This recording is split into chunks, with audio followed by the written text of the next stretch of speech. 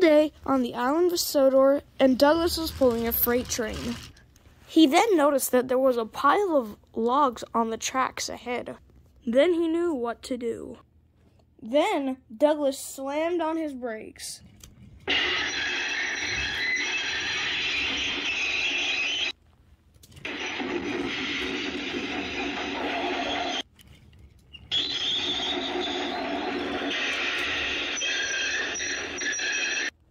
Then there was trouble.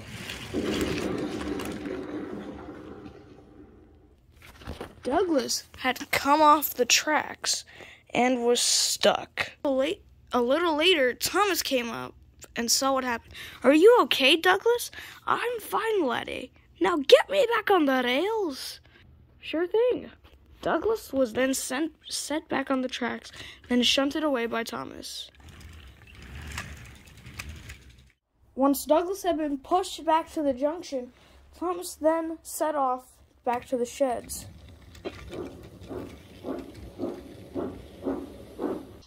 And then Douglas then slowly puffed away.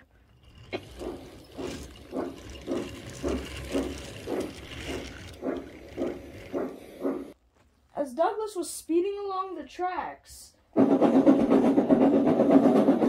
he saw Jack, the front loader,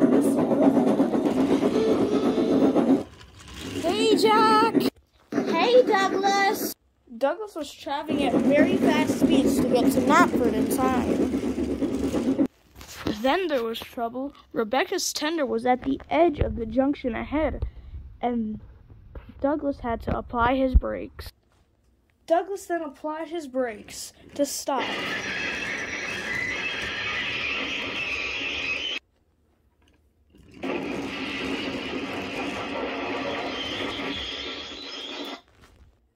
And then it happened.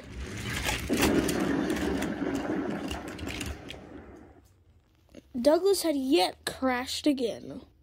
I la- Lassie, what was your ye tender doing on the track? Sorry, Douglas, I wasn't paying attention. Well, if if it was an accident, well then I forgive you. But I'm going to be late now.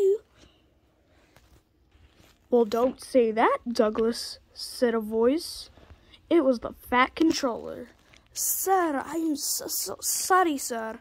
It's all right, Douglas. You still made it to Knapford with a few minutes to spare. Good job through, for persevering through those accidents. Thank you, sir. Now, Henry will shunt you to the works for you to be repaired. As the Fat Controller said, Douglas was shunted into the worksheds by Henry. Thank you so much, Henry. No problem, Douglas. It's for a good thing. And Henry puffed away. While Douglas was being repaired, he heard a rumbling sound.